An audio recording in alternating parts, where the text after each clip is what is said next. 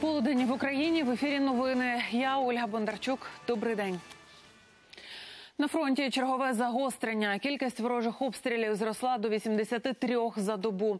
Загинуло двоє українських військових, троє поранені. Проросійські бойовики застосовують важке озброєння по всіх напрямках. Щоб відбити атаки ворога, нашим військовим доводиться відкривати вогонь у відповідь. Під Авдіївкою наші опорні пункти окупанти накривали вогнем з усіх видів зброї. Найбільше стріляли з мінометів великого калібру. Деталі в репортажі Олега Решетняка.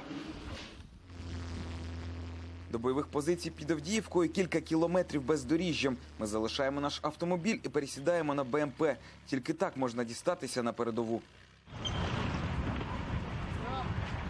Ці позиції облаштували не так давно. Тут бої не припиняються ані на день. Навіть під час інтерв'ю десь поруч чутно вибухи ворожих снарядів. Ну, от бачите, зараз знову щось бахкає. Усе ніби за графіком. Щойно сідає сонце, починається справжнє пекло. В основном с 12 часов, то есть вот и лупят они, то есть вот и с полдвенадцатого так вот.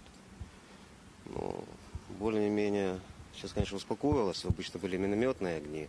Сейчас, ну, каждую ночь пулеметные обстрелы, так бывает, час от часу, и прилетает там и 120-ка, и 82 мина. Ну, держим позиции. А минулої ночі прилетів черговий пекельний подарунок від бойовиків. Ця вирва з'явилася після попадання, як кажуть військові, із забороненого мінськими домовленостями піа- піона. його калібр понад 200 міліметрів. Ну, глибина вирви увесь мій ріст. Кілька днів тому на цих позиціях від ворожого снаряду загинули одразу троє українських військових. Це була міна забороненого 120-го калібру. Бригада це як одна сім'я, тому кожен з ким щось стається, це звичайно це для нас для всіх трагедія. Ну, война есть война. то есть вот Что же поделать? Ну, будем надеяться, что в скором времени это все закончится. Боєць із позивним Шаман служить уже три роки. Ці позиції для нього нові. Зі своїми побратимами облаштовують бліндаж. Делать? То есть сами начали сначала надпись нашу сделали, верло, потом слава Украине. Раптове повідомлення зі штабу терміново залишити позиції. По рації передають проросійські найманці вже знають, що на передовій журналісти і готові розпочати масований обстріл. Колонною підтюпцем тікаємо з місця.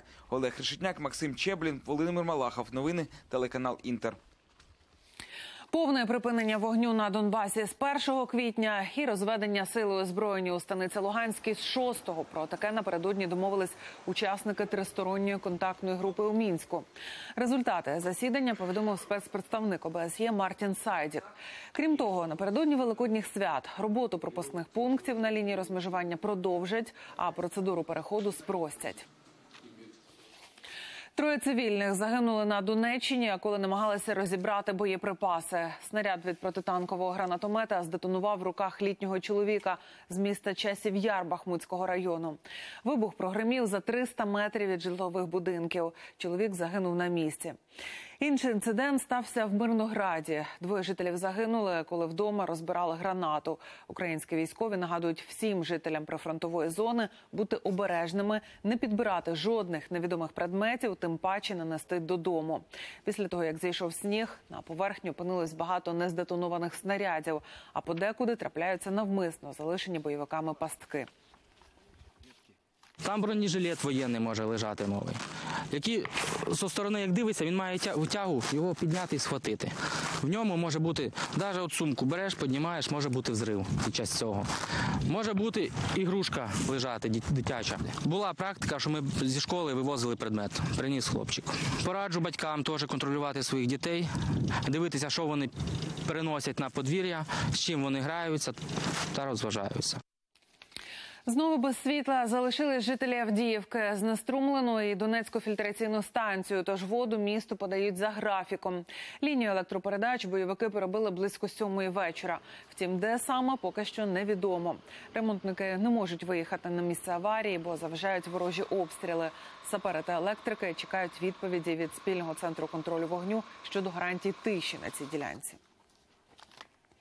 Двоє людей постраждали внаслідок пожежі у Харкові. Там горіла напівпорожня будівля велозаводу. Займання сталося вранці. На третьому поверсі спалахнуло